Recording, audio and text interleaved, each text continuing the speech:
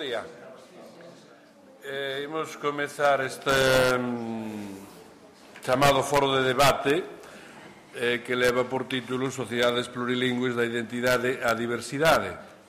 Este foro foi, forma parte eh, dun conxunto de debates que este ano organizamos no Consello da Cultura Galega eh, sobre temas ben diversos, desde asuntos económicos ou políticos até eh, científicos ou artísticos ou estéticos.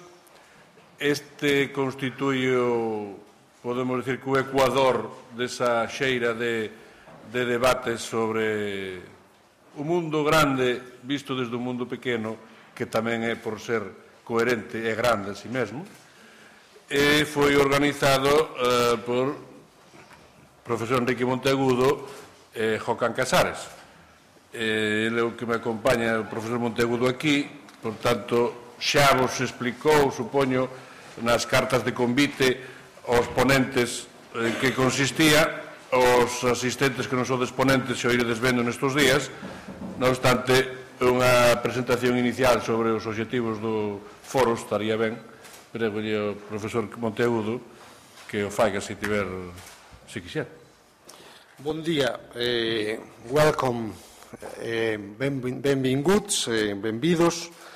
Eh, a idea deste foro marcase neste ciclo que está organizando o Consello polo 25 aniversario da, institu da institución e aquí un pouco o marco ben nos dado é un foro que se, no que se pide aos relatores que a unha serie de relatores que envíen un texto que se fai chegar a uns que chamamos retrucantes ou discusan para eh, que entre expertos eh, o debate se encauce, se anime, pero tamén coa participación do público asistente.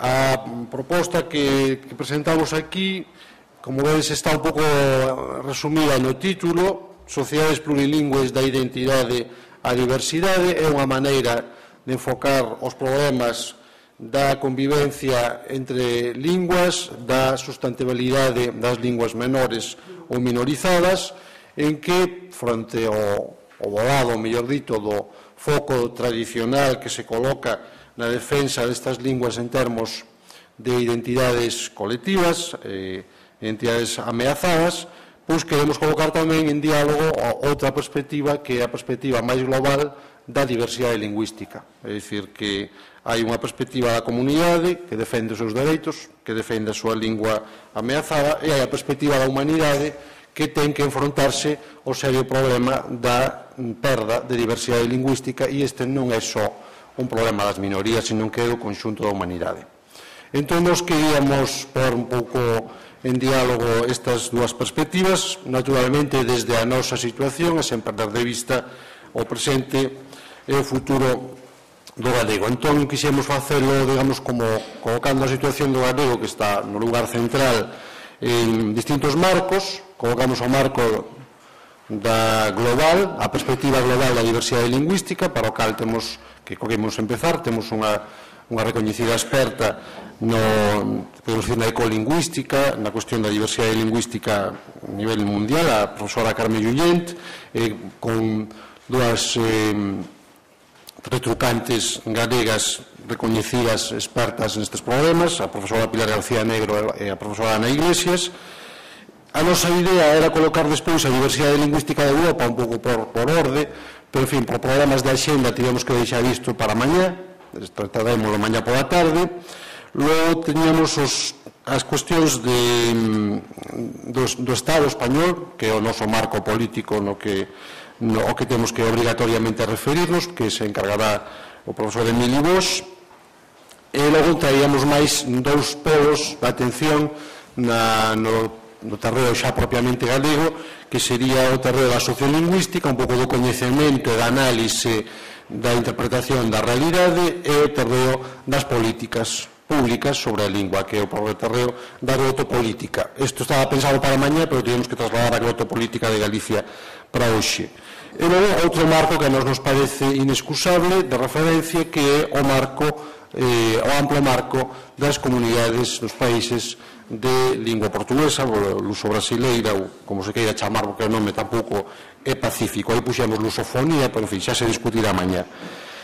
Entón, nos creemos que con estes marcos pois, se dibuxa unha, unha posible escenario para a reflexión sobre o tema que nos convoca, cales son os problemas do noso idioma, cal é o futuro que podemos esperar ao noso idioma, que temos que facer para garantir ese futuro, sabendo que este problema non é só noso, que este problema o temos que resolver en distintos marcos, en relación con problemáticas que son globais, que nos, que nos desbordan, por así dicilo, en varios sentidos, e das que podemos recibir axudas ou dificultades tamén en distintas, eh, eh, de distintas maneiras, E a nosa idea pois, era chamar a, a, por suposto, hai máis expertos, seguro, chamar polo menos a xente que creemos recoñecida neste campo, poñelo a debater con outra xente que tamén é recoñecida neste campo e esperando pois, a participación de, do conxunto dos asistentes. E isto é un pouco idea xeral. Eu as, a xente que ven de fora agradezo especialmente o esforzo de vir, Desexolles unha boa estadía e a todos pois, un, un frutífero diálogo. Moi ben, pois eu tamén me sumo a, esta, a este desexo. Naturalmente, eh, é un desexo que é obvio e casi retórico. A parte deso, debo decir que lles agradezo moito non só aos organizadores, sino a todos os ponentes e retrucantes a súa disponibilidade para participar eh, neste encontro Eh, nós como bueno, o Consello da Cultura non é un centro de investigación, non é unha universidade, pero debe procurar como cualquier eh, centro ou institución eh, que se precie a excelencia. En este sentido, tamén creemos que aquí eh, se vai dar un debate moi importante con grandes, eh, eh, nos millores niveis eh, de reflexión e o propio tempo de propostas. Eh, Hoxe a lingua, eh, como moitos, moitos tempos anteriores, eh, ten os seus problemas, digo, a lingua en xeral, non só a lingua galega, e tamén moitas outras solucións. Eh, mm, a veces estamos un pouco agobiados, sobre todo en linguas minoritarias, por unha ideoloxía monolingüista eh, que non deixa de ser extraña que se aplique aos demais e non se aplica un mesmo as consecuencias nefastas que se creen eh, que se esperan delas. isto é unha, historia moi frecuente eh, ter dúas varas de medir. En historia na vida, xo dicen os textos máis antigos, de modo que se predica para os demais o que non se predica para un mesmo, falese do comercio exterior ou falese das políticas eh, en fin, industriais ou proteccionistas ou falese do, do que sexa. De modo que estamos nunha situación na actualidade na que, en fin, hai pouco na Academia Francesa acaba de, de incluso de emitir un, en fin, un dictamen ou, ou facer unha proposta de non incluir ou de non considerar como ningún tipo de lingua eh, máis que o francés na propia, en fin, no propio respeto académico. En España hai moitas voces eh, que están reclamando unha especie de protección para a lingua maioritaria que, que o español non deixa de ser sorprendente que haxa que proteger o español e que, ademais, non sexa máis que fenómenos residuais que, en tal caso, son quasi molestos e que hai que convivir con eles, pero que, en fin, que se, eh, por aí non pasa a modernidade nin pasa o futuro. En fin, cando escuitamos todas estas cousas, pois creo que hai que non só dicir algo, senón estudar por qué e dar razóns eh, que é o que nos pasa e que é o que como podemos construir un futuro no que tamén a minoría xustamente non só, non só sexa respetada, senón que dá medida da calidade democrática da maioría. Porque eso é xustamente en democracia a virtualidade das minorías. Fin, espero que, por tanto, neste, neste foro eh, sexa moi productivo, pero deslogo para o Consello está moi cando planificou estas actividades deulle un lugar central ao problema da lingua porque en fin, nun, nun, non, nun auditorio como o presente non teño que eh, esforzarme moito en explicar cual é a súa importancia e por qué. De modo que de novo lles agradezo a súa presencia aquí e como decía o profesor Montegudo espero que a súa estadía sexa grata. Eh, eh, para nós é moi doado porque tendo esta praza do Bordeiro aquí á beira a veces infest, eh, un pouco izada de turistas que non sempre veñen por razóns culturais, senón por outros motivos, e algún gaiteiro que ao mellor lles molesta eh, nas súas propias reflexións, pero mm, é mellor ter un gaiteiro que non ter un, un camión, eh, un bocinazo de, eh, dun camión eh, en fin, inter, interferindo na súa propia, no seu propio traballo. De modo que moitas gracias a todos, e eh, bon traballo, e espero que estes dous días aquí eh, sexan o máis agradables posibles.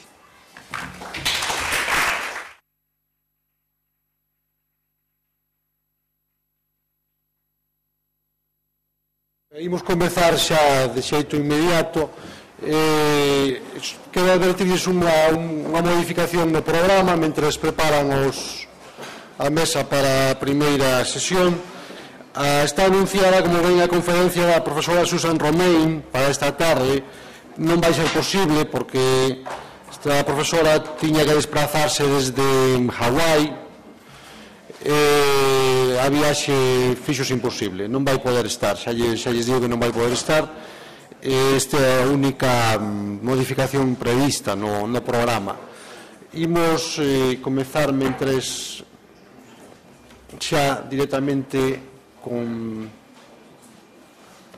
con Carme, se acaso, é onde está?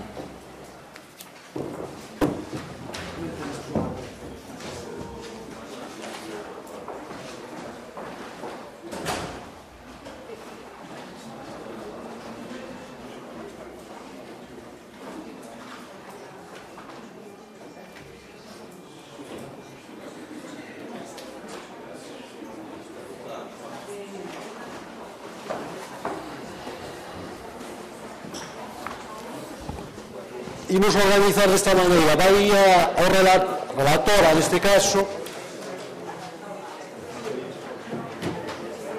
a relatora vai estar na, na mesa, as retrucantes incorporanse despois, eh, eh, ten que haber un guardador que se deñeu para dirigir logo os turnos de palabras, pero Primeiro a relatora deixámola. Eh, profesora Carmen Lluyente Figueras, eh, profesora de Lingüística Xeral da Universidade de, de Barcelona. Eh, é unha experta moi coñecida na cuestión da diversidade lingüística, obras eh, como las lenguas de África, les lenguas del món, eh, vida e mort de les lenguas, las lenguas del mundo traducido al castelán, contra la planificación, la proposta ecolingüística, la diversidad lingüística, guía didáctica recorrida por las lenguas del mundo, apuntan a antropoloxía lingüística, Tetsguía, apuntan un pouco cal é a súa mm, especialidade de traballo, penso que varias obras dela son de referencia inexcusables, mm, amplamente coñecidas, por tanto, imos dar xa a palabra coa titula Perspectiva Global da Diversidade Lingüística. Muy bien, gracias, buenos días. Antes que nada quiero dar las gracias al Consejo de Cultura Galega por, esta invitación y sobre todo felicitarlos por el foro porque he estado viendo los distintos foros y, vamos, me parece una idea magnífica, pero además por este eslogan que estoy a punto de plagiar, también por lo que da de, de esperanza, ¿no? Eso de crear cultura, imaginar país, desde luego me parece un, un gran acierto. Quiero dar las gracias también muy especialmente a mis retrucantes que lo han tenido muy difícil conmigo. Por cierto, como en la Universidad de Barcelona estoy al lado del Departamento de Filología Gallega y Portuguesa, mis compañeros de gallego me han dicho que lo de retrucante es un neologismo que también me parece precioso y por eso también os felicito. Pero, en fin, uh, yo he venido para hablar de la perspectiva global de la diversidad lingüística y si tuviese también que empezar con un eslogan, uh, creo que la situación se resume bastante bien, aunque las cifras puedan variar pero muy poco, en que el 95% de la humanidad habla el 5% de las lenguas, o al revés que el 5% de la humanidad habla el 95% de las lenguas del mundo. Me parece que solo con esta introducción ya se ve que aquí alguna anomalía hay. Y yo quisiera también hablar de estas anomalías, pero antes mm, hacer un retrato, esa perspectiva global de la diversidad lingüística, porque me parece que ver cómo se distribuye explica mejor que no estamos ante un fenómeno natural, sino ante un proceso mm, en parte dirigido, pero que en buena parte ya está, ah, no sé si llamarle incontrolado o descontrolado. De todas formas, y puestos a imaginar país y en este caso a imaginar futuro, también querría mm, hacer algunas propuestas, sobre todo de revisión de conceptos, para ver cómo podemos enfrentarnos a este desastre. ¿Qué significa este desastre? Pues en principio que si las cosas no cambian, puede ser que en el transcurso del siglo XXI desaparezcan hasta el 95% de las lenguas que se hablan actualmente.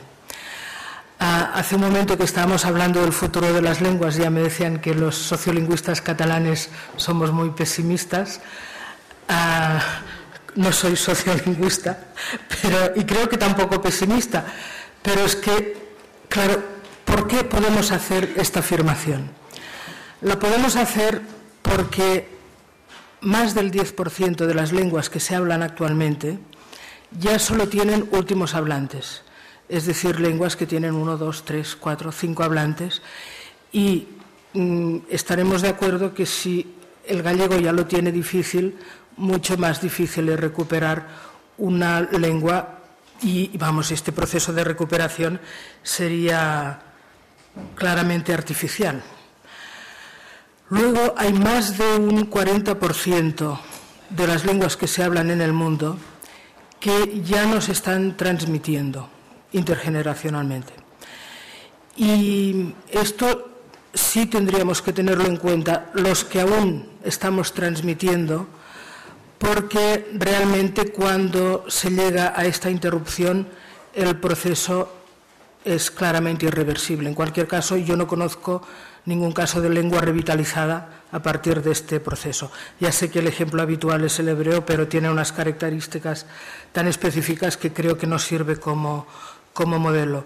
Pero mm, muchas veces en sociedades donde se ve que se va cesando la transmisión, no se tiene en cuenta que cada vez que dejamos de transmitir nuestra lengua a nuestros hijos, estamos dando un paso de gigante hasta este proceso de, sustitución.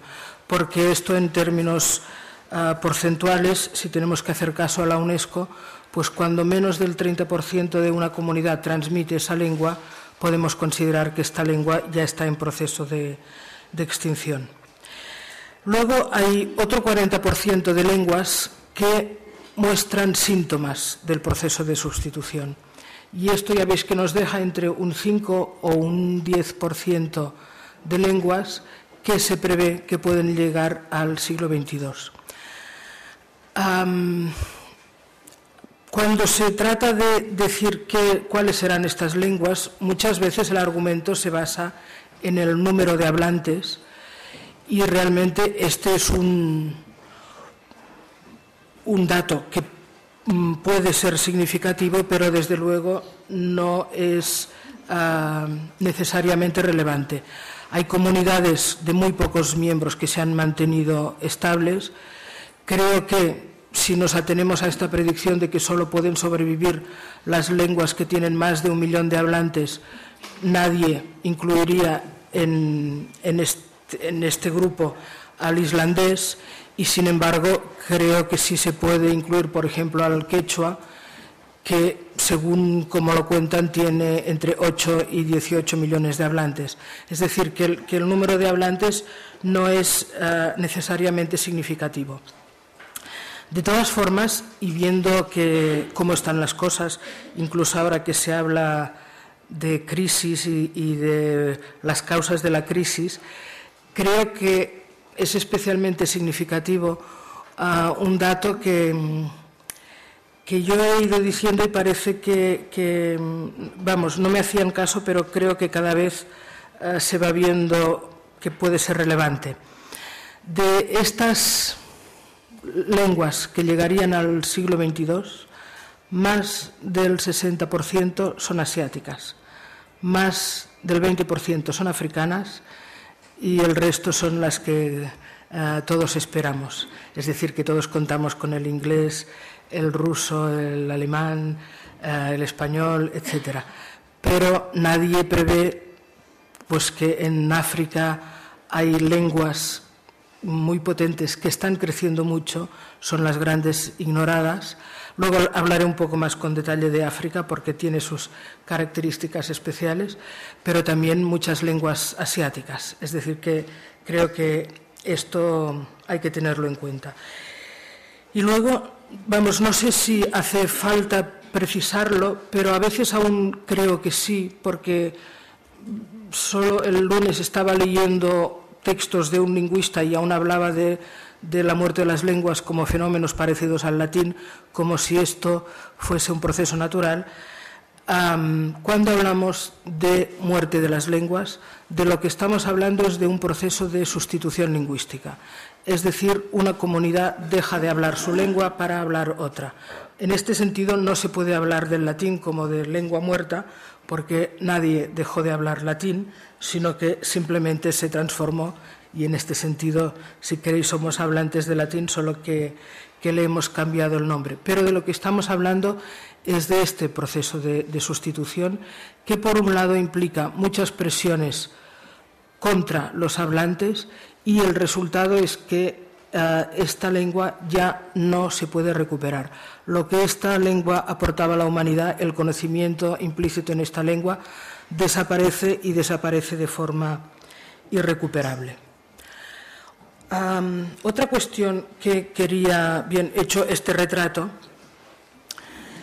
mm, quería abordar ah, un momento el, concepto de diversidad lingüística, porque cuando hablamos de, de, la muerte de las lenguas, pues lo equiparamos a la pérdida de diversidad, en parte porque estamos contaminados de nuestro concepto de lengua, que es un concepto claramente cultural que en muchos lugares del mundo no tiene mucho sentido. Y esto se puede comprobar ahora. La verdad es que no sé cómo estáis de inmigración en, Galicia, pero en Cataluña, que creo que es ah, uno de los lugares de la península donde tenemos unos porcentajes más altos, se va viendo que nuestro concepto de lengua difícilmente encaja tanto con las situaciones con las que tenemos que convivir como con las que ah, estamos creando entre, todo, entre todos. Entonces, cuando hablamos de diversidad lingüística, es cierto, si utilizamos este concepto de lengua, que podemos hablar de lo que llamamos el índice de diversidad lingüística, es decir, cuando ponemos el número de lenguas en relación a otras variables. Puede ser el Estado. Cuando decimos que Papúa Nueva Guinea es el Estado del mundo donde se hablan más lenguas, pues estamos poniendo en relación eso, un Estado y un número de lenguas mm, basadas en nuestro concepto. Ah, creo que Petra Mulhoisler, mm, si oyese hablar de, este concepto de lengua aplicado justamente a Papúa Nueva Guinea, Ah, no nos lo perdonaría. Pero en cualquier caso, este es uno de los conceptos o de lo que hablamos cuando hablamos de diversidad lingüística. También ah, hablamos de diversidad lingüística cuando hablamos del resultado y, no encuentro otra palabra mejor para resultado, pero, pero no quisiera dar mm, esta idea de estático que puede tener el resultado porque es algo siempre cambiando, pero es el resultado del proceso de diversificación natural de las lenguas. Mm, creo que los lingüistas, mm, por lo menos, no nos peleamos con la idea de que pueda haber un origen único para todas las lenguas, a partir del cual todas se han ido diversificando y mm, hemos llegado hasta aquí y seguiremos uh, diversificándonos o destruyendo, que esto está por ver. Este sería otro concepto de diversidad que en realidad es a lo que lleva este proceso natural uh, en las lenguas. Todas las lenguas cambian y en condiciones normales se diversifican porque siempre se adaptan a situaciones uh, distintas. Y luego hay otro concepto que es seguramente el que pasa más desapercibido cuando se habla de la perspectiva global de la diversidad, que es en tanto que la lengua es un código claramente um, adaptable a cualquier situación, muy versátil, genera una serie de variedades, podéis estar pensando en las regionales, pero no solo, que también están desapareciendo. No sé, eh, yo soy profesora de antropología lingüística y cuando explico a mis alumnos uh, las lenguas en las que hombres y mujeres utilizan léxicos distintos o las lenguas en que uh, según el estatus se utiliza un tipo de léxico o um, aspectos morfológicos o cuando hablamos de lenguas tabuizadas o la lengua de las suegras en las lenguas australianas, ¿no? cuando hay que utilizar otra lengua cuando estás delante de, una persona uh, con la que no podrías tener relación. Es decir, todo este tipo de diversidad ya ha desaparecido prácticamente. Cuando se describe, siempre se describe como una reliquia o como los ancianos del lugar recuerdan como uh, mujeres utilizaban léxico distinto o los niños un tipo de léxico, los mayores otro, etc. Mm, esto es seguramente la cara oculta de esta desaparición porque contamos lenguas y esto es lo que um, oscurece um, este proceso de homogeneización, pero ahí también se está perdiendo mucha diversidad y muchos recursos. Ya he hablado del concepto de lengua, que creo que sí tenemos que tomarnos en serio la revitalización de la diversidad lingüística es uno de los conceptos fundamentales a tener en cuenta. Los modelos canónicos de planificación lingüística, de política lingüística, se basan en este concepto. Se basan, vamos, cuando se habla de grafización, de estandarización, de estatus de las lenguas, de qué lenguas se declaran como oficiales, etcétera, uh, tenemos presente esta idea de que hay una lengua que empieza en un sitio y acaba en otro y es algo claramente distinto a otras lenguas. De hecho, cuando mm, se aducen criterios para diferenciar, sean lenguas o sean uh, dialectos, uh, realmente lo que encontramos es que son todos uh, discutibles porque incluso el pretendidamente más neutro, que sería el de la inteligibilidad, es más que dudoso, porque mm, creo que en el continuo románico con pocos uh, esfuerzos de adaptación podemos comprender bastante más de las lenguas que hablamos y esto ya pone en cuestión. Y quien habla del continuo románico puede hablar de muchos continuos, ¿eh? desde el bantu al germánico, al eslavo, etc. Entonces, creo que hay que cuestionar este concepto sobre todo porque lo que cada vez es más evidente es que tratándose de revitalización de lenguas amenazadas, lo que no podemos es salvar lenguas aisladas. Si, yo qué sé, podemos ir a Colombia y diseñar un proyecto para una lengua, si uh, las demás lenguas que coexisten, porque um, las comunidades no viven aisladas y de eso también uh, hablaremos. Vamos, es que tenemos muchos ejemplos de intentos de revitalización sin éxito justamente porque no se tiene en cuenta lo que está pasando alrededor. Y de hecho se ve que si hay algunos, he dicho antes, no hay ninguno que haya tenido éxito, lo que no pierdo es la esperanza. O sea, algunos que por lo menos de momento no han fracasado, es decir, nos abren esta puerta a la esperanza, siempre es cuando se tiene en cuenta el entorno. Porque de lo que se trata no es tanto de recuperar lenguas como de recuperar ah, redes de intercambio. Pensad que, bien, antes cuando os daba estas ah, cifras catastróficas, ah, también se dice que bueno, lenguas han desaparecido siempre. Lo que también es cierto es que no han desaparecido ni con la velocidad ni en las proporciones que lo están haciendo ahora. ¿Pero por qué? Pues porque en realidad estamos al final de un proceso que tiene efectos multiplicadores.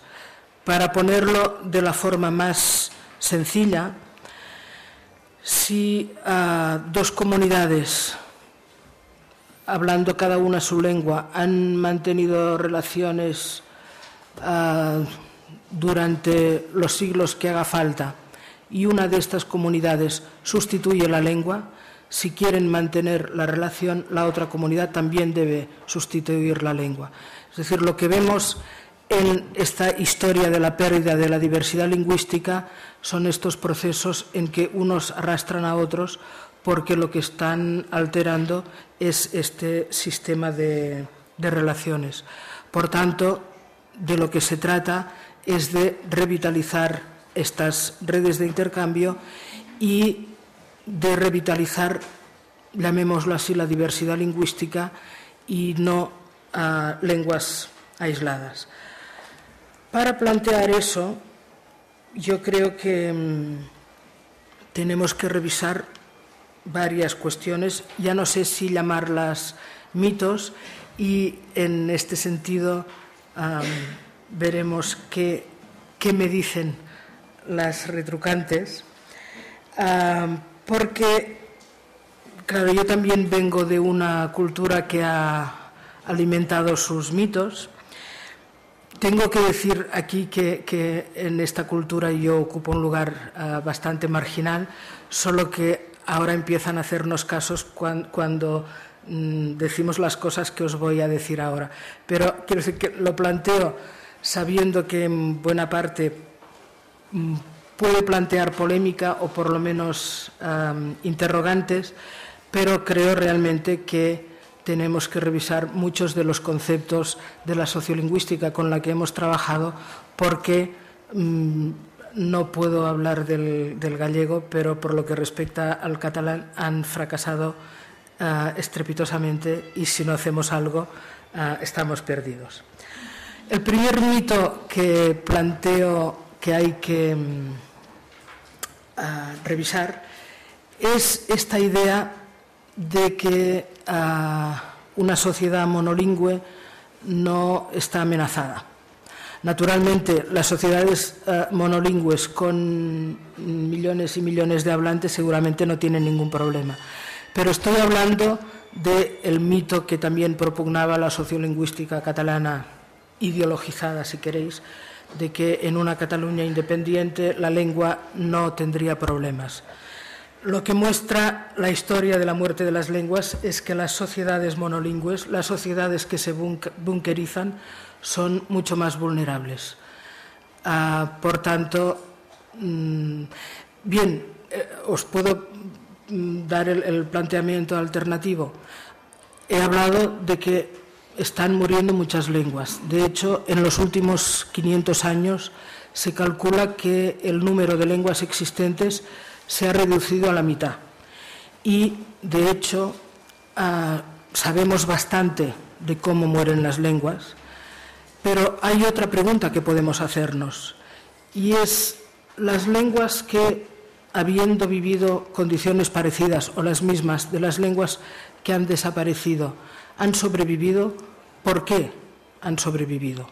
Estoy pensando en casos como Chiapas, como Filipinas, muchos lugares de África. Es decir, esta es una pregunta que también podemos plantearnos.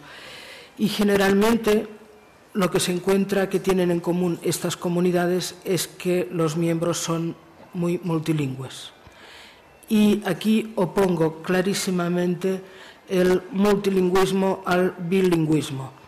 El bilingüismo es el exterminador, este sí realmente el asesino de lenguas, por decirlo de la forma más directa. Hay algo que también es evidente, que es que ah, ninguna de las lenguas que ha desaparecido ha sido sustituida por diversas lenguas. Estoy hablando en términos de comunidad. ¿eh? Naturalmente, el catalán puede desaparecer a, manos del francés, el español y el italiano, pero estoy hablando de comunidades ah, que coexisten. Siempre los procesos de sustitución mm, vamos, corren a cargo de una sola lengua. Una lengua sustituye a otra. Ah, en este sentido, parece que la diversidad genera diversidad por lo que os estoy diciendo, ¿eh? que las comunidades más diversas o donde los hablantes son más multilingües aparecen como más protegidos o protegidas para, eh, hacia esta, a este proceso de homogeneización. Hago un paréntesis aquí para mencionar el caso de Cataluña porque eh, también siempre lo digo, puede ser que nos equivoquemos, pero como si nos equivocamos haremos lo mismo que todo el mundo, da igual, pero igual acertamos. nosotros, cuando hablo de nosotros, hablo del Grupo de Estudio de Lenguas Amanasadas, que es ah, mi grupo de investigación. Llevamos varios años haciendo el inventario de lenguas que se hablan en Cataluña. De momento hemos identificado hablantes de más de 260 lenguas la hipótesis es que son unas 300, pero en fin, esto seguramente es lo de menos. Pero cuando hablamos de la identidad a la diversidad, nuestro propósito también era el reconocimiento de estas identidades para recrear estos entornos en que la supervivencia de todas las lenguas es posible. Es decir, la supervivencia del catalán frente al español está sentenciada. Llevamos ya un proceso muy largo. Pero ahora que la situación ha cambiado radicalmente, que casi 10 de cada 100 catalanes no tiene ni el catalán ni el castellano como primera lengua, ah, podemos replantearnos muchas cuestiones. O sea, un poco la idea al hablar del multilingüismo contra el bilingüismo es mm, replantear las relaciones y crear una nueva red de relaciones que nos aparte de, de esta empanada, ya que estoy en Galicia, que es el, bilingüismo que nos está consumiendo.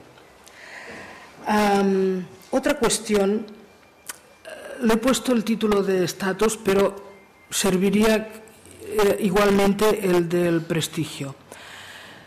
Creo que se ha perdido mucha energía ah, defendiendo la oficialidad de las lenguas, que tengan un estatus reconocido, etc. Yo no digo que esto pueda ser importante.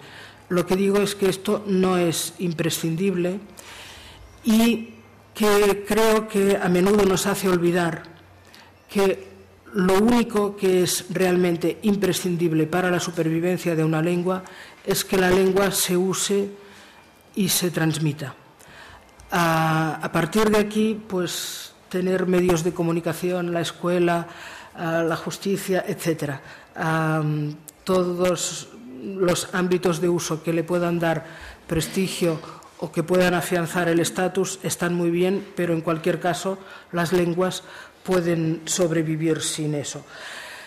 Tal vez sería más útil plantear algo parecido a las lenguas marcadas y lenguas no marcadas y el término se puede eh, cambiar por cualquier otro, mm, tal vez incluso más, más eficaz, pero la idea es, hay lenguas al margen del estatus o del prestigio que se les quiera otorgar que marcan a, los hablantes y lenguas que no. ya que he hablado del catalán, pues a pesar de las percepciones, el catalán es una lengua claramente estigmatizada para la mayoría de adolescentes que viven ahora en, Cataluña. Para algunos es la lengua que hablan sus padres o tal vez sus, abuelos, pero en cualquier caso una lengua que te coloca en un grupo étnico y que te deja al margen del grupo. Hay, por ejemplo, muchos trabajos de estos que hacen los profesores que luego nunca ven la luz y que todo el mundo critica porque dicen que están mal hechos, etcétera, etcétera, sobre los usos del catalán en institutos. Y, siempre lo digo, al margen de que estén bien hechos o no, de la calidad, hay un dato que es constante en todos estos estudios, que es que el número de alumnos que tienen el catalán como primera lengua siempre es superior al número de alumnos que declaran usar el catalán en el instituto.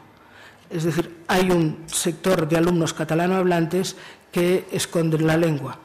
Ah, ya sé que oficialmente se dice que la enseñanza solo funciona en catalán y todo eso, pero también tenemos datos que indican que la enseñanza en español en secundaria en Cataluña es de casi el 70%.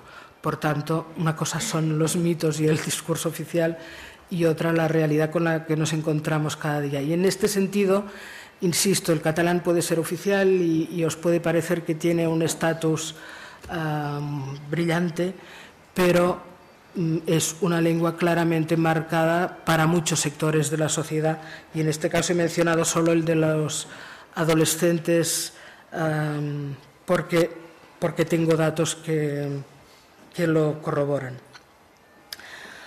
Otro de los, de los mitos, este seguramente no, no, lo discutiremos, pero en cualquier caso creo que vale la pena recordarlo, porque para nosotros es un tema de debate constante, cuando se plantea la vida de las lenguas en términos políticos.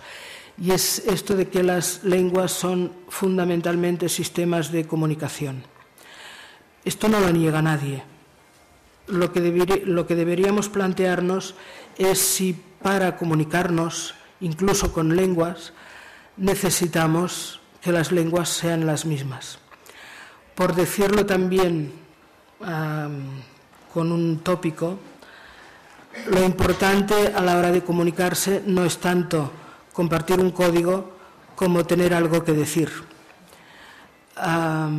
y da igual, no sé, por poner un, ejemplo ah, reciente pero que eh, bien conocido, ¿a quién le interesa lo que pueda decir un cantante en Eurovisión cantando en inglés?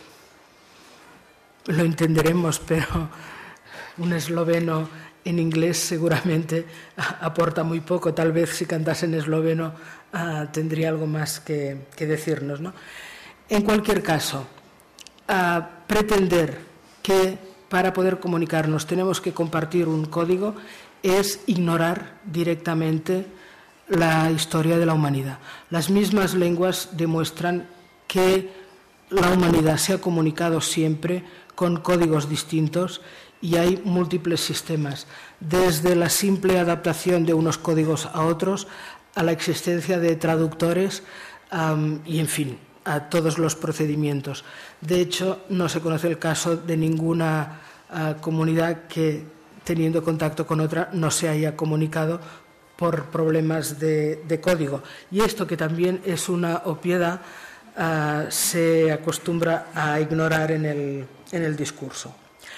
Otra cuestión polémica que también tenemos que replantear, y no sé si este es tanto el debate aquí, pero en cualquier caso Mm, en Cataluña lo es y en otros sitios porque ya no deben tener ni la esperanza de que lo sea. Es la cuestión del territorio.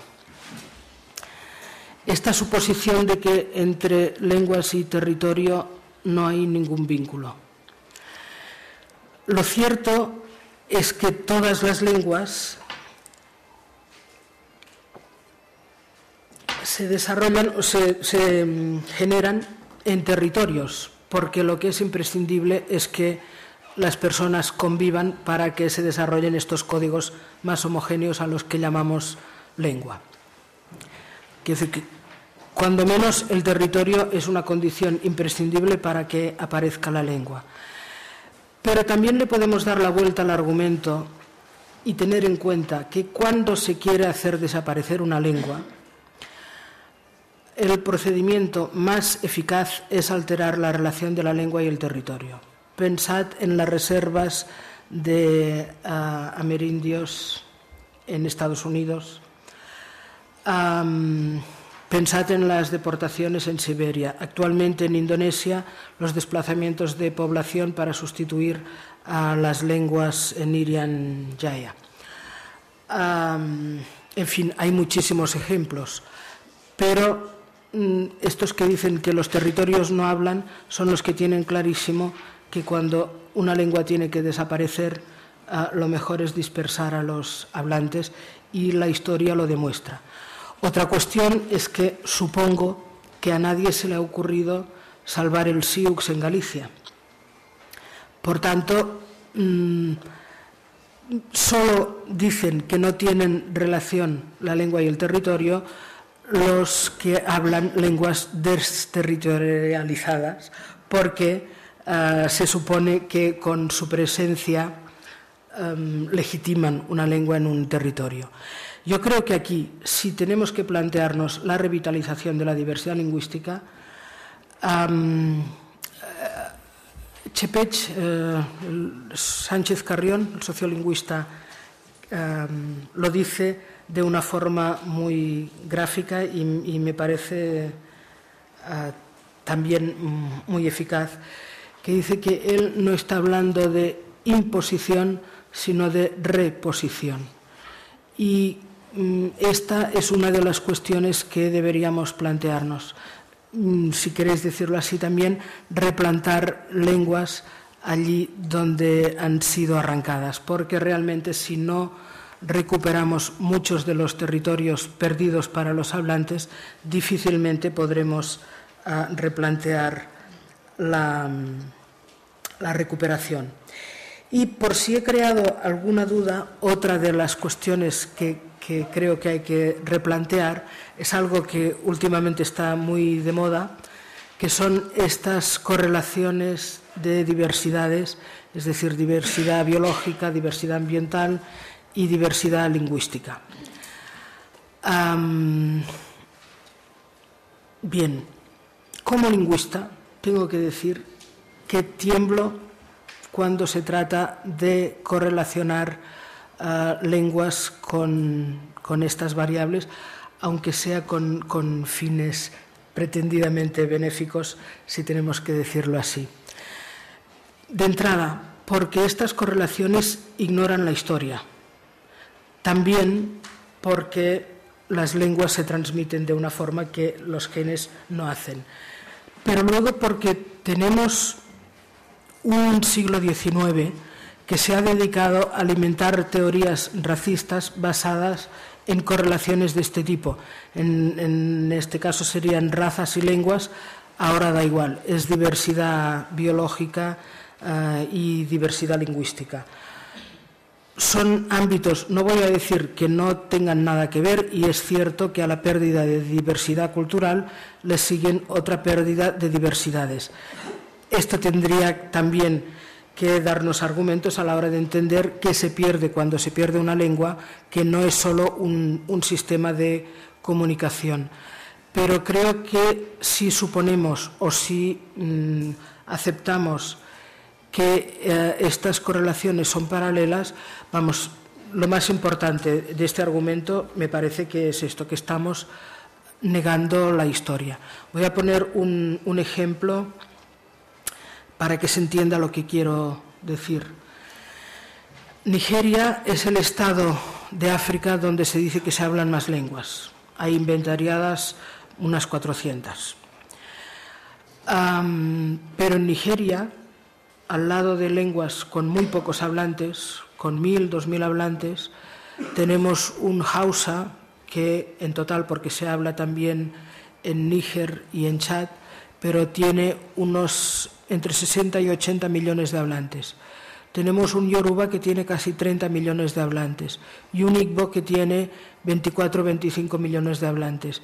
Es decir, podemos decir que en Nigeria hay mucha diversidad ambiental, mucha diversidad biológica, mucha diversidad lingüística, pero también hay lenguas que están haciendo desaparecer otras lenguas y en este caso el Hausa es un, es un ejemplo clarísimo.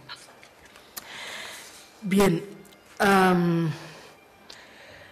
creo que me queda un poco de tiempo, no sé cómo lo ven las retrucantes, porque tal vez podríamos, es que yo tengo aquí apuntado que si queda tiempo sigo y si no nos ponemos a discutir.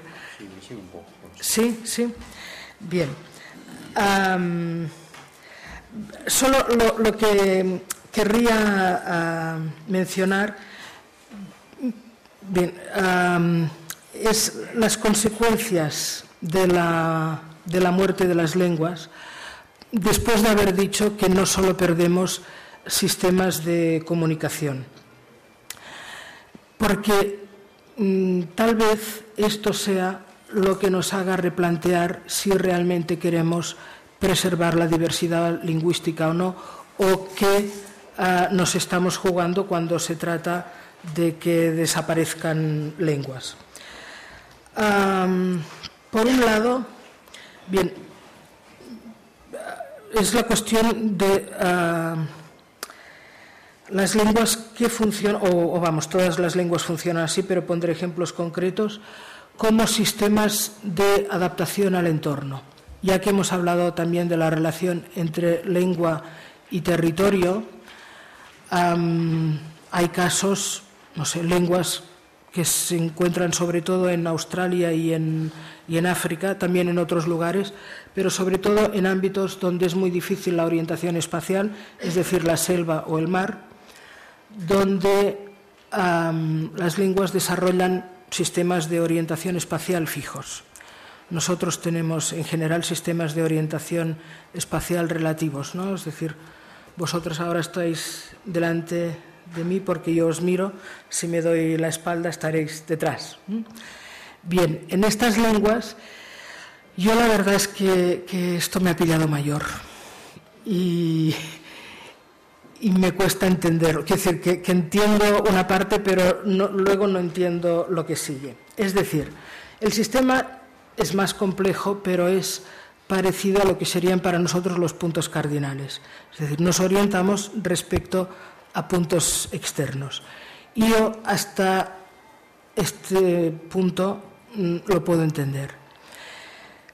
Lo que no entiendo es que eh, he hablado con lingüistas que han trabajado en estas lenguas y que han convivido con hablantes de estas lenguas y te cuentan, por ejemplo, que tú puedes iniciar una sesión de trabajo en una mesa, tú estás, digamos, al norte, por decir algo, y él no sé dónde estará porque soy disléxica al este o al oeste. y se acaba la sesión de trabajo y este hablante tiene clarísimo que él está al sur y tú al este. Esto es lo que no entiendo. Confieso mi incapacidad, pero el, sistema me parece que sí. Bien, al margen de mi incapacidad, me parece que son buen ejemplo de comunidades que tienen este recurso en la lengua y que cuando pierden la lengua pierden esta posibilidad. Es decir, un hablante de esta lengua sabe orientarse en el mar, ah, en la selva, gracias a su lengua.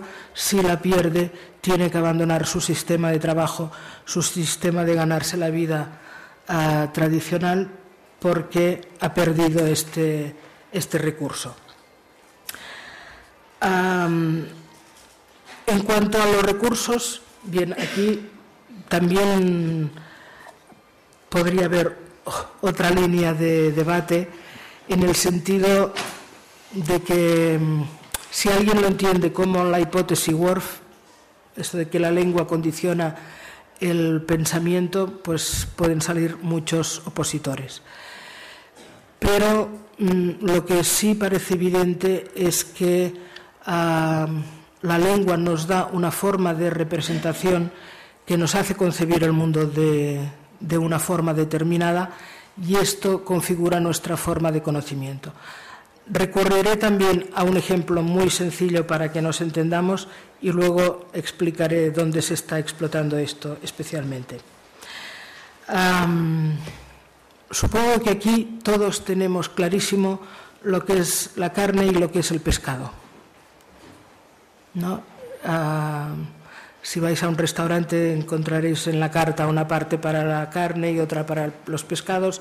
Tenemos carnicerías, tenemos pescaderías y supongo que nadie espera encontrar un pollo en la pescadería. Al margen de lo que puedan tener en común los pollos y los bueyes para encontrarlos en la carnicería, no parece que este sistema de clasificación tenga nada de racional podéis decir que unos son animales de agua y otros no, pero en fin, tampoco esto justifica esta, esta división. Pero pensad que esta oposición es muy importante en nuestra cultura. Ah, no sé si alguien recuerda los viernes de cuaresma con abstención que implicaban que no se podía comer carne, ¿no? y todos sabíamos lo que no podíamos comer había una pequeña duda con los caracoles de tierra, ya que estoy aquí. Aquí no se come. Nosotros sí comemos caracoles. Pero la resolvió San Agustín diciendo que eran animales de sangre fría y por tanto los viernes de cuaresma se pueden comer caracoles. Pero resulta que en Camerún hay unas 60 lenguas en las que lo que para nosotros es carne y pescado se designa con el mismo término. Esto puede parecer inocuo, en fin, una curiosidad y ya está. Pero hay un antropólogo catalán que se llama Luis Mallard, que empezó, como muchos antropólogos, siendo misionero y fue a parar al Camerún y dio con una de estas lenguas en las que no había diferencia entre carne y pescado. Él aprendió la lengua y predicaba que los viernes de cuaresma no se puede comer carne, pero acto seguido se iba al río y pescaba. Y claro, le decía, nos has dicho que no puedes comer carne, pero tú comes carne. Y fijaros que era solo una cuestión de etiqueta, es decir, designamos de una forma y creemos que aquello es de aquella forma. Pues bien, esto actualmente en el ámbito de la, de la medicina, se está explotando muchísimo. No creo que sea la vía más adecuada, ya conocemos todos las historias de la biopiratería, pero en cualquier caso sí que se mm, ha visto que este conocimiento es imprescindible pues, para, para, el desarrollo de la medicina en general. No tengo datos de aquí, pero en Estados Unidos los medicamentos que provienen de culturas de estas que suponemos que pueden desaparecer son el 75%. Y en este caso hay, muchos mm, casos descritos. Lo que se está viendo es que, mm, porque claro, la primera idea es, bueno, nos apropiamos del conocimiento y luego si la lengua desaparece ya está.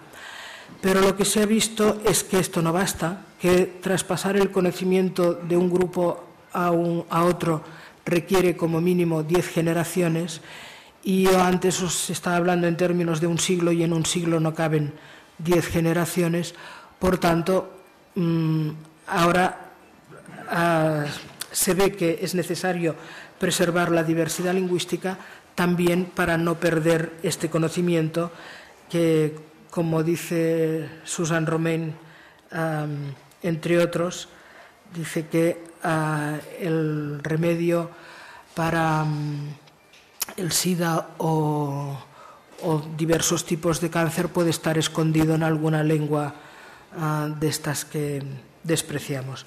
Y bien, en general, lo que perdemos cuando ah, perdemos una lengua, al margen de que sea un sistema de comunicación, es conocimiento. Estas formas de ah, visión del mundo nos condicionen o no, es decir, seguramente podemos adquirir nuevas lenguas y por tanto adquirir nuevas almas y ver el mundo de maneras distintas, pero todas estas formas configuran lo que es el conocimiento humano. Si lo perdemos, también perdemos muchas posibilidades de saber cómo somos. Y puestos a crear cultura, imaginar país, nuestras posibilidades de imaginar serían mucho más reducidas. Bien, gracias. Yo lo dejo aquí.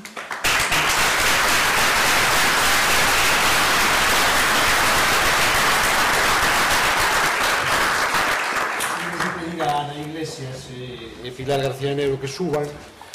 Pilar García Negro é profesora da Universidade da Coruña, ben coñecida polo público galego, ten varias obras moi importantes referidas á situación da lingua, entre elas eh, o galego e as leis, a súa tese de doutoramento, mm, publicada no 91, e obras como sempre en galego, direitos lingüísticos e control político, e eh, traballos tamén sobre...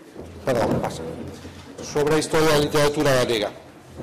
Foi tamén deputada no Parlamento Galego desde 89 ao 2003 e por sinalar cousas que teñen que ver o que estamos aquí a falar foi cofundadora do Comité Español do Bureau Européen pour les Langues Mal Répandues e é analista deste mesmo Bureau e membro da equipa de redacción da Declaración Universal dos Dereitos Lingüísticos aprobada en Barcelona no 96 e do, do Comité Científico da mesma Ana Iglesias Álvarez, eh, profesora da Universidade de Vigo, eh, ten unha obra moi coñecida en Galicia, publicada como libro Falar Galego no veo por qué, do ano 2002, así que con esta breve presentación xa lle cedo a palabra.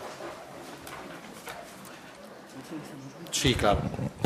Eh, empeza ti Eh, bos días, eh, grazas tamén por invitarme a participar.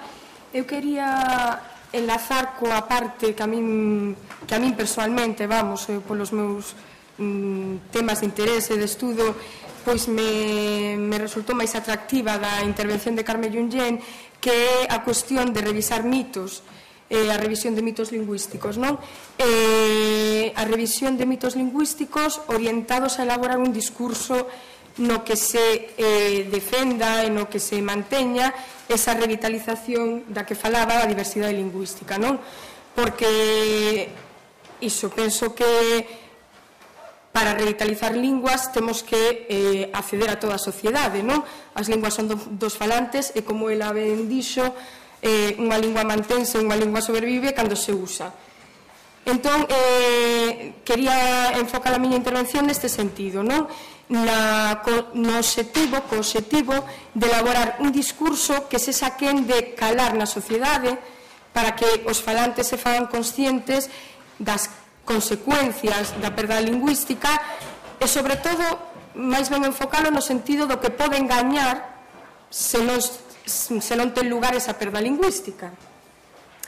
Entón, eh, mm, dentro deses mitos dos que eu quería falar, eh, que quería comentar, eh, o que me parece a min mm, máis interesante é eh, o punto da transmisión interxeracional que Carmen Junyen eh, tratou aquí, pero non tan en profundidade como a mí me gustaría, porque ademais no artigo que, que lemos, que nos enviaron previamente, sí que tocaba con máis detalle ese punto, eh, xe deixou un pouco máis a marxe, pero, eh, a ver, se o objetivo é, como di ela, a reposición lingüística, non? Eh, un termo que me gustou moi que me gustou moito e que quero tamén apropiarme, se pode ser, en lugar de imposición, xa que aquí ademais en Galicia se fala tanto de imposición, non? Cando se fala das normas de das medidas de normalización do galego, pois en lugar de imposición, reposición, se o noso obxectivo é a reposición lingüística, temos que eh, necesariamente ter novos falantes. Eh, é dicir, está claro que unha lingua que non ten transmisión interxeracional é unha lingua que está destinada a morrer. Entón, por unha parte, hai que cuidar esa transmisión interxeracional, pero nos casos en que a perda ou os síntomas de perda xa están bastante avanzados, non queda máis remedio que recorrer ou que procurar unha reposición. Entón, Nese sentido, eu mm, detecto, eh, non sei se adecuadamente ou non, pero bueno, ela terá oportunidade de aclaralo, detecto algunhas contradicións, digámoslo así, ou no seu discurso un, un, un o matiz ou o ton xeral do discurso ou o estilo do discurso, algo que non me acaba de convencer se o noso objetivo vai ser este, entre outros, non? É dicir, a recuperación de falantes, non só o mantemento de falantes, senón que necesitamos recuperar falantes. Eh, entón, por iso digo que me parece moi interesante revisar o mito da lingua materna, porque a recuperación de falantes supón que hai falantes que teñen que deixar a súa lingua materna non deixala, porque eh, tamén estou totalmente de acordo coa idea do multilingüismo, non? Non deixala, senón engadir novas linguas, non? A lingua que estamos intentando recuperar, eses novos falantes, nesa recuperación de falantes, eh, os novos falantes teñen que engadila o seu repertorio lingüístico. Nunca falamos de eliminar linguas, senón de engadir, non? Unha idea tamén que me parece que hai que in, incluir nese discurso eh, trátase de sumar linguas, nunca de perdelas. Entón, eh, digo que detecto certa contradición cando se insiste tanto ou cando se pon tanta énfase eh, como ela fixo na parte final do, da súa intervención nesa especie de determinismo lingüístico eh, teño que chamarlle así non sei, eh, ela mesma se referiu á hipótese Sapir-Whorf e que eh, no seu discurso percibo iso de fondo, inevitablemente sinto iso, non sei se acertadamente, pero bueno, despois eh, poderá aclaralo. Entón, claro, eh, non é que non estea de acordo totalmente con iso, senón que non me parece, eh, digamos, adecuado ou oportuno poñer a énfase justamente niso se logo o que lleimos pedir os falantes e que recuperen linguas que les mesmos perderon, ou que máis ben que les mesmos que as xeracións anteriores a eles perderon. Non, porque eh, se, se insistimos tanto en que a lingua influe na tua forma de ser, no teu pensamento. Non? No artigo que, que se nos pasou previamente dela, eh, pois chegase a falar de que eh, as perdas de linguas acaban provocando que o individuo, a perda lingüística acaba provocando que o individuo, bueno, podería citar literalmente, pero vamos, que, que o individuo mm, deixe de saber o seu lugar no mundo, e que perda a tan punto, pois iso, que, que se senta totalmente perdido, que perda orientación, incluso con danos físicos e, e mentais na persoa, non? Entón, claro, eh, envolver todo este discurso non? no que pretendemos recuperar eh, linguas, eh, recu eh, manter a diversidade lingüística, destes matices, casi independentemente de que eu estea de acordo ou non con iso, pero se estamos falando de crear un discurso para a sociedade, para difundir na sociedade, non me parece máis acertado, porque logo lle imos pedir a esa sociedade ese esforzo de recuperar linguas e de que eles falen linguas que non lles transmitiron as súas xeracións ainda que mellor a eles les gustaría que os seus pais as transmitisen pero o feito é que non foi así non? entón eh, tamén en relación con iso eh, falaches o principio da intervención eh, de que cando estamos comentando as causas da perda lingüística ti falaches de que non se trata dun proceso natural non? que as linguas eh, cambian que as linguas cambian, non? que esta é un dos, dos, das interpretacións, un dos conceptos da, do termo diversificación lingüística, que as linguas, as, todas as linguas cambian en condicións normais, pero que cando estamos falando dos motivos que provocan a perda lingüística, estamos falando dun proceso non natural. Entón, este tipo de termos de cualificacións, proceso non natural, e logo dicir, en cambio, que as linguas cambian en condicións normais, pareceme que eh, habería que matizalo, non? Porque eh, que os endi... cales son as condicións normais de, de cambio lingüístico? Cal é o proceso natural ou non natural? non? porque hoxe en día as novas tecnoloxías que fan todos estes eh, comparouse a perda lingüística actual co tema do latín non? Eh, de todos xeitos, aí tamén quería puntualizar que penso que cando se compara coa, co, co proceso que ocorreu co Imperio Romano, coa latinización, eh, a comparación non é coa conversión do latín nas linguas románicas, senón co que ocorreu previamente, é dicir, coa, coa sustitución polo latín das linguas prelatinas, non? Sería, en todo caso, esa comparación posible. Pero esa comparación non é posible porque hoxendía os cambios son moito máis rápidos e moito, moito máis rápidos e amplos debido ás, ás novas tecnoloxías, eh, é dicir, ás novas sociedades non que temos hoxendía. Pero que esas son, esas son as condicións normais hoxendía. Non quero dicir que me parece difícil falar disto. E logo, cando falaches de algúns procesos de recuperación, non sei en concreto agora cales, pero comentaches que o cualificáchelos de artificiais. Entón, eh, hai un contraste entre estes dous termos, natural, o sea, falaches de eh, as perdas de lingua como un proceso non natural, pero logo cando dixeches, a, eh, cando te referiches a algúns procesos de recuperación, falaches que serían en todo caso recuperacións artificiais, cando sobre todo a transmisión interxeracional estaba xa moi, con, moi consumada. Bueno, eu entendino así en todo caso, non? Que entón, se estamos facendo este discurso no que poñemos o natural fronte artificial, cando eh, cando temos que conseguir que un grupo de falantes nos que xa se rompeu a cadea de transmisión interxeracional, se queremos repoñer esa lingua, claro, sí, é un proceso artificial, pero mm, mm, é un proceso necesario, é un proceso que é natural no sentido de que é moi frecuente, nestes eh, intentos de recuperación lingüística. Entón, eh, nese sentido, eh, gustaríame insistir iso, no mito da lingua materna, non? Eh, como que a lingua materna das persoas fainos mm, pensar dunha maneira determinada, ter unha visión do mundo determinada, e xa digo, independentemente de, de que estea máis de acordo ou non con isto, penso que eh, temos en todo caso que cuestionalo e que non é un, un dos puntos nos que me parece interesante ou nos que me parece adecuado insistir se queremos elaborar un discurso que cale na sociedade non?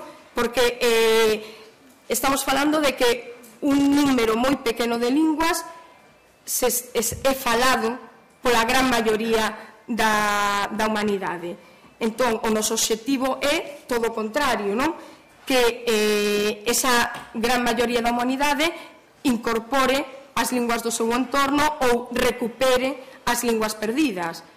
En todo ese proceso que nos queda por diante, inevitablemente vai haber toda unha serie de individuos moi mayoritarios que van ter que facer o esforzo de instalarse nunha lingua diferente á lingua materna.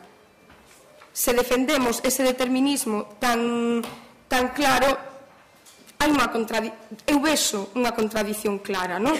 Entón, eh, penso que eh, o discurso debémoslo elaborar non tanto eh, poñendo a énfase nesas cuestións, senón en ofrecerlle aos falantes argumentos para levar a cabo ese esforzo.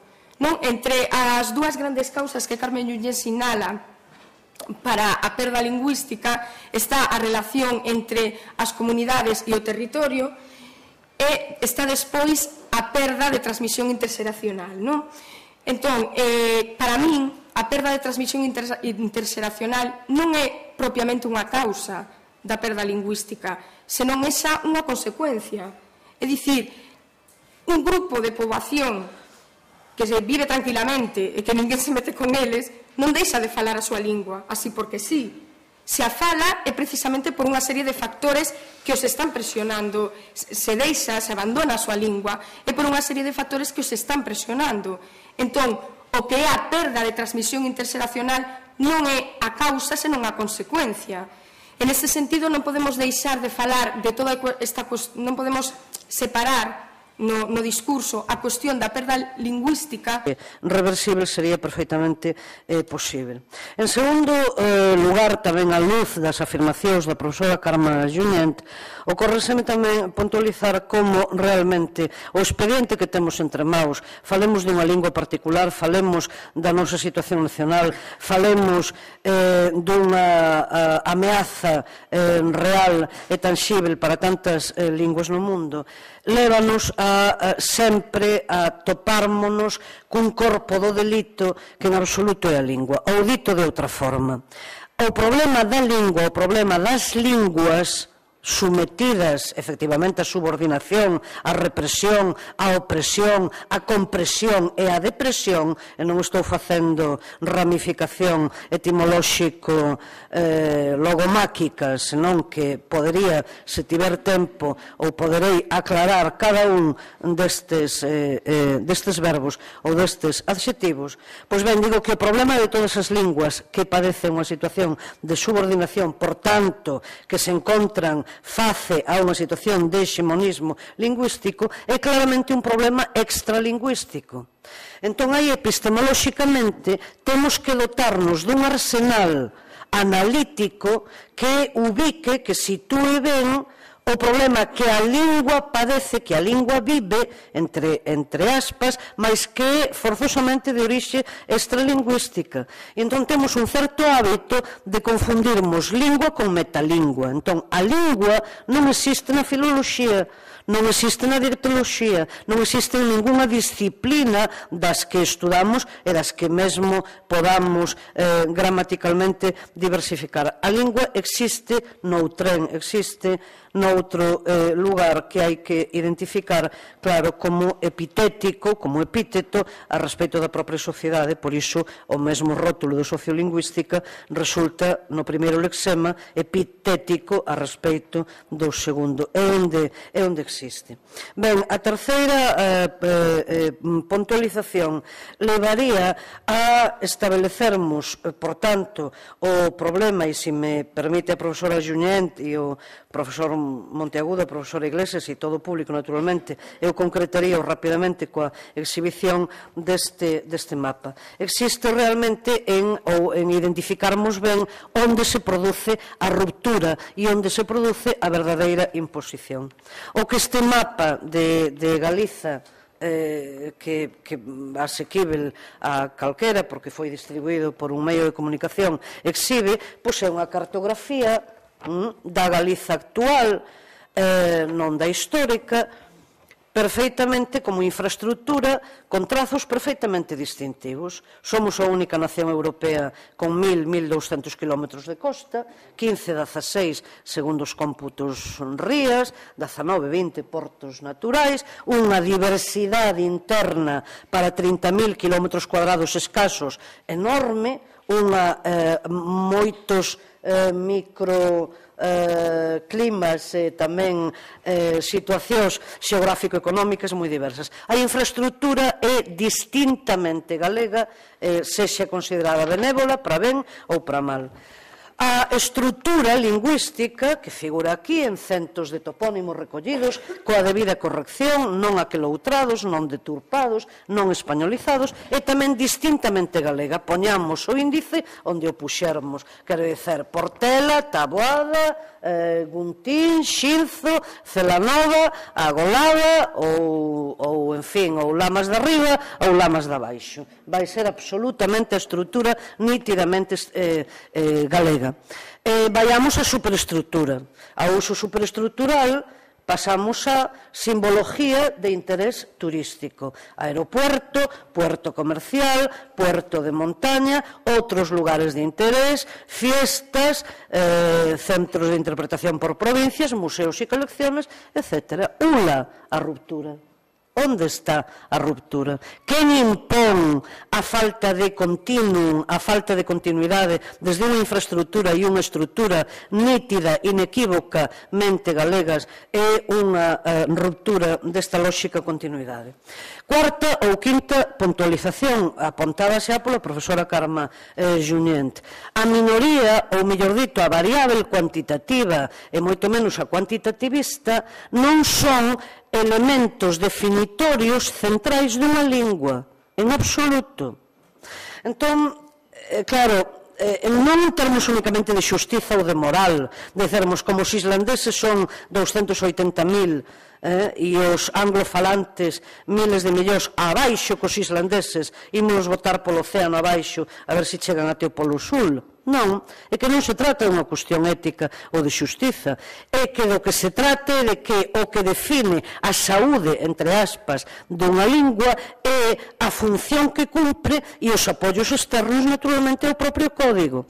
Entón, a minoría alemá en Bélxica ou a minoría alemá no Subtirol con dependencia de estados que teñen como oficiais plenamente, ainda que o alemán é plenamente oficial en Bélxica, claro está, pero que teñen unhas outras dúas linguas, francés e flamengo, francés e neerlandés, no caso belga, e italiano, no caso do Subtirol, esa minoría alemá non ten o menor problema en absoluto de subsistencia, nen de preservación da súa lingua, nen de conservación, en absoluto, sendo minorías menores que as minorías de migrantes galegos na Suiza, na Franza, no Reino Unido ou na Alemanha, onde naturalmente non se quere que existían como minoría, senón que ou sabían alemán ou sabían alemán. Ou sabían inglés, ou sabían inglés, ou sabían francés, ou sabían francés. Isto é en termos de propia sobrevivencia, mesmo que fose no aprendizado a, a obrigatorio de certos rudimentos eh, com, que desen para entenderen as nóminas ou o seu contrato laboral, eh, etc. Ben, seguinte aclaración, na mesma liña tamén. Eh, vamos ver. Vexamos históricamente na, no tratamento das linguas tamén na sociolingüística ou sociolingüística tamén do disfemismo coido ao eufemismo. Eh, isto é o monolingüismo ferreño dos estados que impuxeron como tal sen fenda de ningún tipo e o Estado francés e o Estado español son exemplos ben claros desta imposición deostaron en tempos o bilingüismo na medida en que a perspectiva, digamos, lingüicida directa pasaba por penalizar e por eh, destruir completamente o que non fose estritamente francés, o que non fose estritamente español. De aí a coñecemos desde o 18 ou desde o antes aínda desde o 16 toda unha práctica eh, neste neste sentido. Ben, De aí dese, desa posición absolutamente disfemística chegamos dentro do mesmo sistema a, a posicións eufemísticas e de ideoloxía compensatoria en nome das cais o bilingüismo pasa a ser louvado e ponderado como benéfico e como eh, mesmo eh, solución. Naturalmente, a profesora eh, Junyent Con anterioridade, o presidente do Consello da Cultura Galega e o seu secretario xa indicaron tamén, e eu desde logo rubrico, estamos ante un xogo ideolóxico trucado, porque supostamente o bilingüismo é bon e aínda imprescindível para galegos ou para cataláns, pero non para españois de Cuenca, Valladolid, Palencia, Burgos, Madrid, Sevilla ou Guadalajara.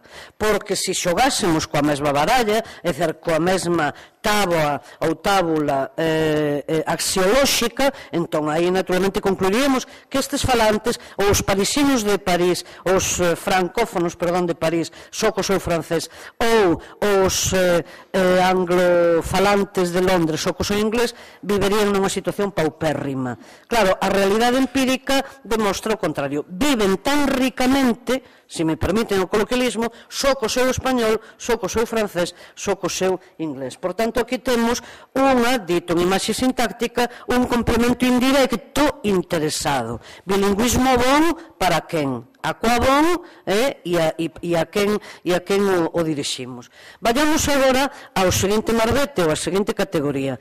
Plurilingüismo Aplaudámolo afervoradamente, mas aclaremos o seguinte. Primeiro, a nivel planetario como territorio e a nivel de toda a humanidade como conxunto eh, humano, é, como antes indiquei, incito a propia natureza das linguas e ao propio nacemento da humanidade como grupos diferenciados. É dizer, non nacemos clónicos, senón atados e vinculados e vinculadas a unha terra, con efeito, a unha xeografía, a unha economía, a toda unha práctica cultural que efectivamente acredita que temos moita máis idade, calquer dos individuos aquí presentes, do que figura no noso documento de identidade. Todos temos moitísima máis idade, porque todos levamos no sangue, que dirían os organicistas, eu non o son, pero en fin, en metáfora decimonónica, todos levamos moito máis do que a estrita sincronía en que vivemos.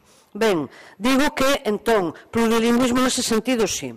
Plurilingüismo, naturalmente, no sentido de adquisición non substitutoria de caisquera outras linguas, por suposto que sí, por razóns económicas, por razóns culturais, por razóns turísticas, porque temos tempo para facelo, porque temos diñeiro para incrementar os nosos coñecementos e as nosas posibilidades de intercambio, ou porque temos caisquera outras vías de asimilación de idiomas. Sempre e cando isto non supoña eliminación, substitución ou asimilación á lingua hexemónica da nosa propia lingua. Porque senón o plurilingüismo convértese tamén ou pode convertirse, non digo como conceito, digo como eh, produto terminolóxico nunha armadilla, non? nunha, nunha, nunha trapela. Ben, eh, xa para irmos eh, concluindo, Eu quixera recordar, se o auditorio me permite, e a mesa tamén me permite, e porque me resulta así un chisquiño eh, conmovedor eh, eh, e algo humorístico tamén. E case, se si se me permite, máis en beneficio da información agora da profesora Carma Junyent. Entón, direos o seguinte.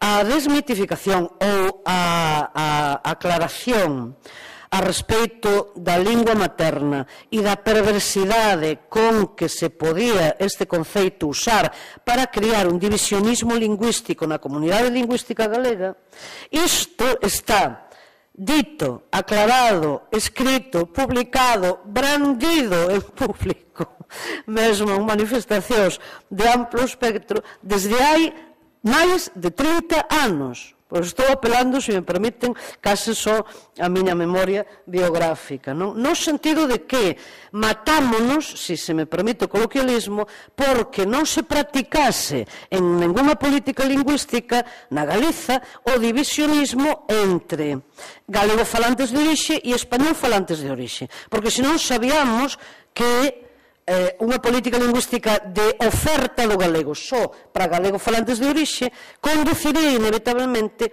a, a súa residualización, a súa grupuscalización, é dicer, a, non, eh, a, a que non houvese eh, oferta para eh, democrática, mesmamente unitiva, para todo o universo escolar galego ou fora do escolar, que justamente agora o que se está pondo de novo en, en dúbida. O mesmo a respeito dos termos imposición, ou reposición ou que me case trouxeron saudades de algunhas outras actividades miñas, neste caso en foro parlamentar, porque hai anos e anos e anos que eu cansei de repetir que lle, eh, cando se falaba perversamente de impoñer o galego, que fixese un favor de retirarlle o prefixo, porque non se trataba de impoñer o galego, senón de poñer, e de poñelo nos lugares onde xa máis se discutía poñer o idioma oficial do Estado, isto é, o español. Por tanto, quero dicer que aquí outra cousa é que moitas destas posicións eh, que existiron na Galiza, pois foron convenientemente, eh, por moitas vías, foron convenientemente ocultadas ou opacadas opacadas ou mesmo eh, eh, caricaturizadas. Ben, e xa, como dixen, para ir eh, concluindo. A, a planificación eh, lingüística de que se falou tamén. Eu coido que segue sendo perfectamente válida a, a procura da mellor pedagogía social posible, Mais ben entendido que iso non consiste na venda de un produto, senón en como a causa da lingua por parte da sociedade que é a súa posuidora se internalice efectivamente como algo tan necesario como outras realidades de tipo material, de tipo social, económico ou cultural polas que se pelexan.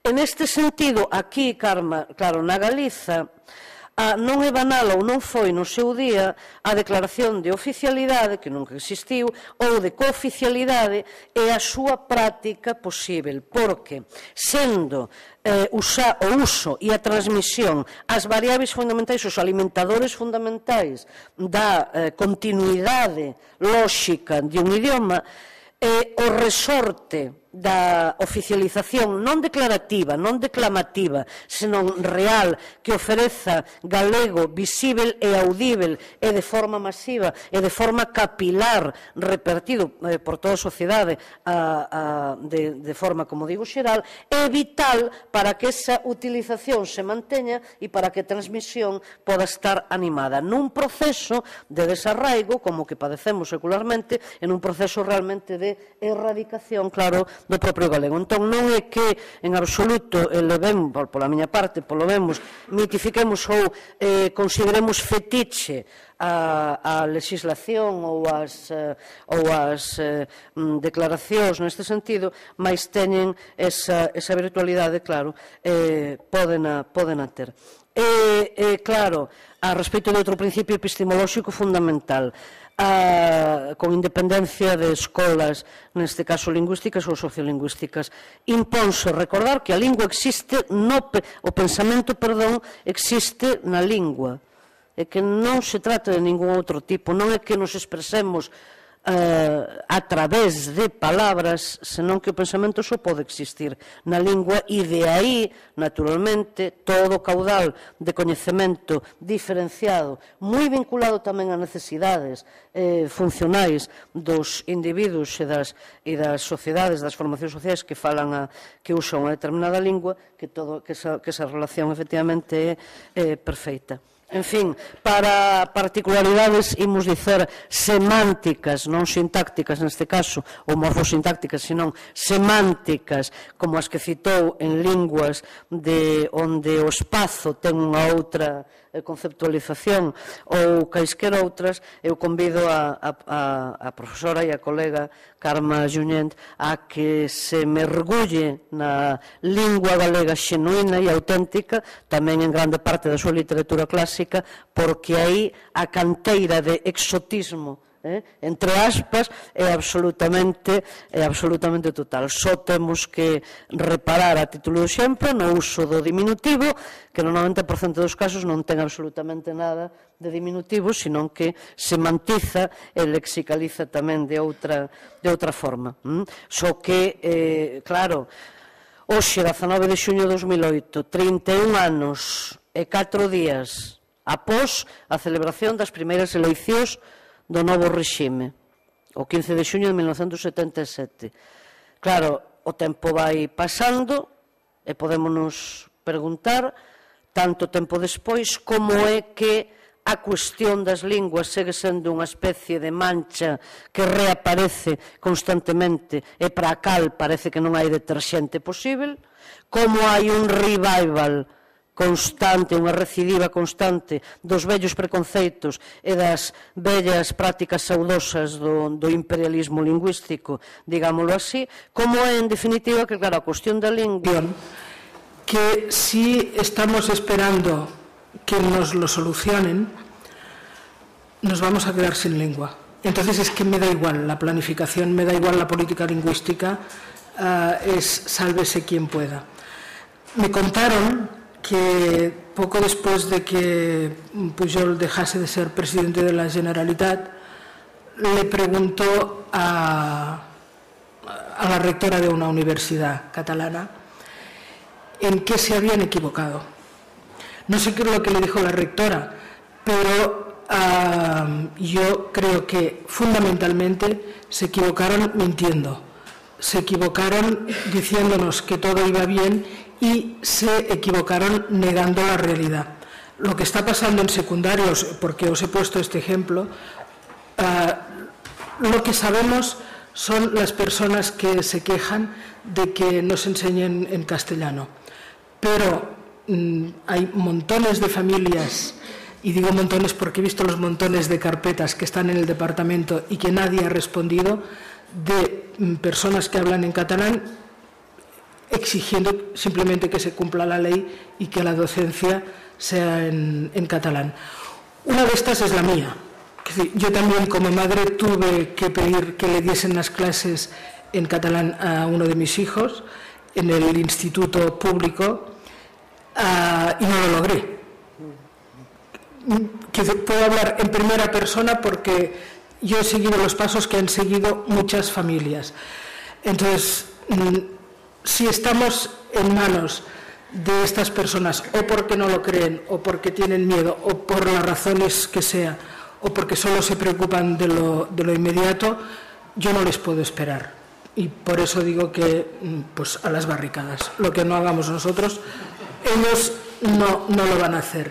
Y repito, se equivocaron mintiendo, se equivocaron diciendo que todo iba bien. En cuanto a la reposición, no sé si he entendido muy bien la idea porque, claro, si hablamos de reposición, ah, no, no, se puede reponer el urdu en el hospitalet. Por, e, era esa la, la cuestión. Claro, de lo que se trata de reponer, en todo caso, sería el catalán. A ver, la idea esta del, del multilingüismo y de las lenguas que se hablan en Cataluña. La cuestión es que durante muchos años hemos tenido este juego entre dos lenguas con porcentajes distintos, pero uh, catalán, español y, y la cosa iba funcionando así. El catalán ha ido retrocediendo en, muchos aspectos. ¿Qué pasa ahora? Pasa que en Cataluña, además de, del catalán y, si queréis, del castellano, se hablan muchas otras lenguas. Tenemos que preguntarnos ¿Qué hacemos con estas lenguas que, y yo lo digo siempre así, son el pasado del futuro de Cataluña? Es decir, los catalanes del futuro, y no hablo de un futuro muy lejano, tendrán en su pasado familiar lenguas de todo el mundo. Y depende de cómo las tratemos ahora, será este futuro. Mm, yo no puedo imaginarlo ni voy a hacer predicciones, pero en cualquier caso está claro que nos lo jugamos ahora. Lo que nosotros detectamos cuando empezaron a llegar personas de todo el mundo con sus lenguas es que mira por dónde los estábamos tratando como no queremos que nos traten a nosotros. Es decir, si a, a, vosotros también os debe pasar, os identifican con el flamenco y, en fin, mm, todos los tópicos españoles, pues nosotros, uh, yo que sé, con Julio Iglesias y si queréis la selección española, a, las personas que venían de Marruecos les suponíamos que hablaban árabe, a los de Pakistán que hablaban urdú, a todos los de Sudamérica que, uh, que hablaban español, etc. Y también por ese motivo quisimos hacer este inventario, porque pensamos que no podemos exigir reciprocidad si nosotros no reconocemos las identidades. Por tanto, el proyecto era esto. ¿Qué hemos encontrado? Pues hemos encontrado, ya os lo he dicho antes, que actualmente en Cataluña un 10% de la población en términos oficiales, seguramente reales es superior, pues no tiene ni el catalán ni el castellano como primera lengua. Uh, ya digo, puede ser que esto no nos lleve a ningún sitio, pero si homogeneizamos a esta población, si nuestra vía de contacto es el castellano, sabemos que vamos a la, a la extinción. Por tanto, reconozcamos estas identidades, incorporémoslas como patrimonio, mm, como nuestro patrimonio, y a partir de aquí se pueden mm, plantear otras reglas del juego. En cuanto al, al español, uh, una de las cosas, vamos, hay un caso tangible mm, que, puede dar la idea de por dónde queremos ir. Uh, las variedades de Sudamérica del español están muy estigmatizadas aquí. Digo aquí, donde se supone que, se habla castellano. Lo que ha pasado con los Latin Kings, por los sitios que conozco, en Madrid o en Barcelona, es radicalmente distinto. En Madrid aún los encarcelan, en Barcelona y, en la periferia, porque actúan también fuera, son una asociación cultural. Uh, hay un chico que está investigando a los Latin King en Cataluña y uno lo verbalizó de una manera más que transparente. Dijo, para ser un sudaca de mierda, prefiero ser un Latin King. Es decir, que ellos también percibían la estigmatización de su lengua. Se suponía que hablaban la lengua que hablábamos todos y resulta que esto tampoco servía. Mientras que el catalán ha servido para incorporarlos en la sociedad catalana en igualdad de condiciones. Y hay una cuestión fundamental. Uh, claro, yo no he entrado aquí porque venía a hablar de la, diversidad uh, en general. Pero en cuanto a Cataluña, funciona y no me extrañaría que en Galicia pudiese funcionar también la idea de que hablas catalán, eres catalán. Lo ilustraré con dos anécdotas. Una es de un, catalán, un miembro de la Nova Cançó que ya falleció, que era de Manacor, de, del pueblo de Rafael Nadal. ¿no? Su padre era de allí fue a trabajar a Guinea Ecuatorial y tuvo un hijo uh, con una chica de allí y este hijo era Guillem Dafac, que era esta persona. Entonces él hace ya muchos años fue a un bar hablando en lo que hablaba habitualmente, ya os digo que él era miembro de la Nova Cansó, y el camarero le iba contestando en castellano y él insistió en catalán, hasta que al final el camarero reaccionó y le dijo, perdone, es que creía que era negro. y luego la otra, una, investigadora, es profesora en la, en la Autónoma, pero es miembro del, del Grupo de Estudio de Lenguas Amenazadas, haciendo un trabajo de investigación sobre actitudes lingüísticas, hablando con un niño de siete años, nacido en Cataluña, hijo de padres gambianos, le preguntó si le parecía que el catalán era importante. Y el niño le dijo, pues claro que es importante, porque si hablo catalán no soy tan negro. Es decir, tenemos una lengua que difumina los colores y, esto se percibe de manera muy clara. Mm, si esta lengua nos puede permitir uh, convivir a todos en igualdad de condiciones gracias a la lengua, tenemos uh, que aprovechar esta oportunidad. Por tanto, no se trata de reponer el Urdup, entre otras cosas porque nunca había estado allí. Pero sí saber que existe, decir, uh, sabemos que estás ahí y nosotros estamos aquí y si vamos a ser iguales, tenemos que intercambiar. Es decir, nosotros mm, acogemos también tu lengua, pero mm, no nos hagas cambiar de lengua para claro, comunicarnos claro. contigo. Esta es la, la idea. Eh, Eh, Pilar, pídeme un minuto para facer unha última intervención. É que é xustamente a, a, ao fío de, destas últimas afirmacións de, de Karma, eh, que é mesmamente porque sí que hai unha lógica, non vou dizer determinista, mas unha lógica eh, atrevo-me a dizer que, que, que humana, e pacífica e democrática que consiste na integración do individuo no meio social e na sociedade que o acolle. Claro, moito antes en Barcelona no seu interland, moito antes de paquistanís, hindús eh, e todo tipo de inmigración, eh, había eh, miles e miles de galegos. Mm? Entón, eh, cal é a lóxica, ao menos que eu defendo, que haxa eh, todo tipo de, vamos dicer, de conservación ou de memoria e mesmo de práctica viva nesas colectividades da lingua de orixe e, e con un sentido dinámico, non arqueolóxico é óptimo, eu defendo absolutamente, tanto como que como a lógica de que o inmigrante mm, se debe integrar na sociedade en que vive. E aí a identificación lingua igual a nacionalidade desta, deste pequeno, menos negro, no?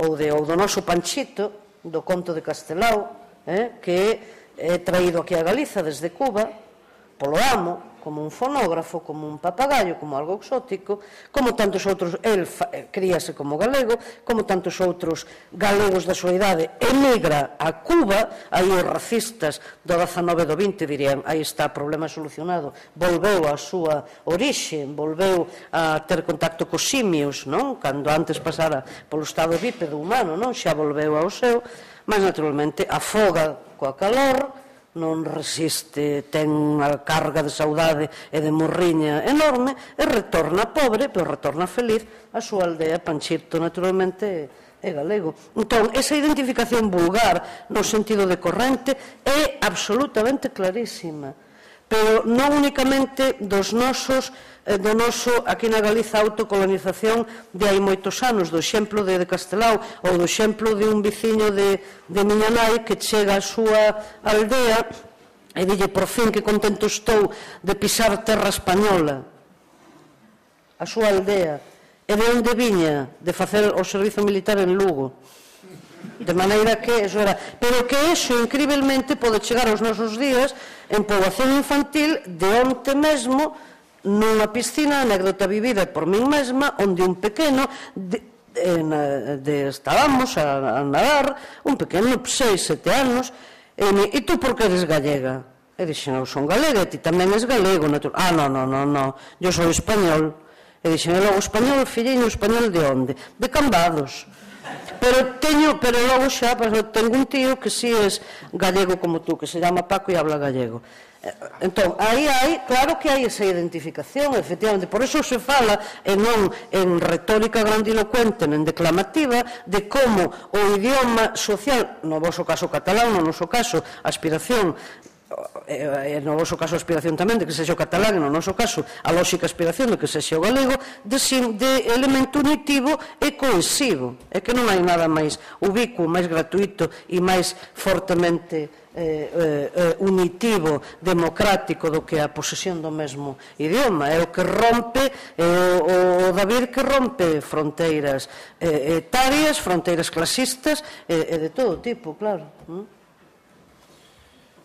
Pois eh, moitas grazas á relatora e ás retrucantes e ás persoas que interviñeron e que estiveron tan atentas a este interesantísimo relatorio e debate. Imos coller 20 minutos escasiños para tomar un café e ás 12 e media puntuais comezamos.